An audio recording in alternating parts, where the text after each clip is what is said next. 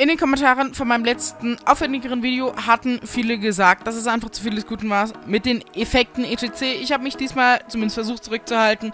Ähm, deshalb möchte ich euch einfach mal ganz kurz fragen, ob das jetzt besser war als vorher. Schreibt mir dazu einfach mal bitte was in die Kommentare, ob es immer noch zu viel war, ob es durchaus ein bisschen mehr sein kann oder wie ihr das einfach findet. Das wäre super nett. Vielen lieben Dank. Hombres, vamos, llama for, español, ni se como estás.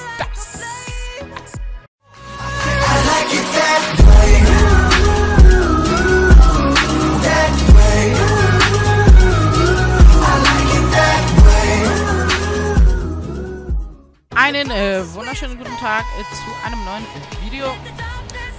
Ähm, Bruder, du spammst mich mit dem Bogen, der keinen Damage macht. Du bist schon ja, der Skiller unter den Skillern, würde ich sagen. Ja, also der ist schon Legendenboy. Ich kann auch mit Rod spielen, wenn du Bock drauf hast, aber ich glaube nicht, dass sich allzu gut für dich It was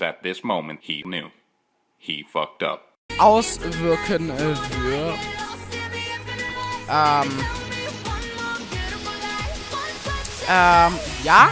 Bruder, als ob ich gegen so einen Lappen verliere. Ja, ich habe heute aber auch kein Thema anzusprechen. Ähm. Ja, ich mache einfach mal wieder ein Video. Ja, ich weiß, sehr krass. Ähm.